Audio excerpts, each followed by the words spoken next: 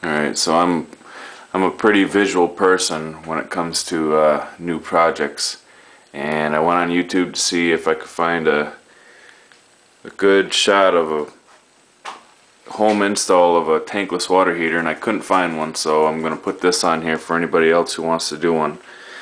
Um, it's pretty basic. First thing I did was I made this this frame here to match the water heater mounted that to the concrete wall. And then you know just just wood screws there to mount the unit. Um, next I measured out my venting hooked up the vent uh, and from there it was just hooking up the water and gas lines.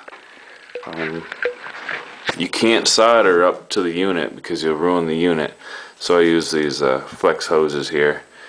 My water just came down here. Here's my hot water.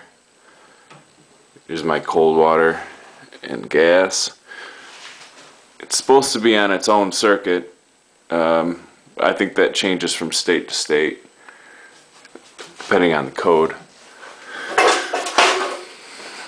And here's where the old water heater came down right here.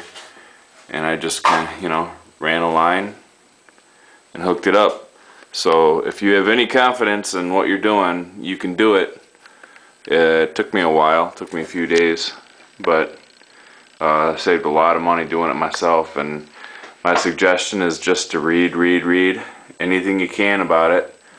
Um, don't jump into it without thinking it through. But if you need a visual, here you are.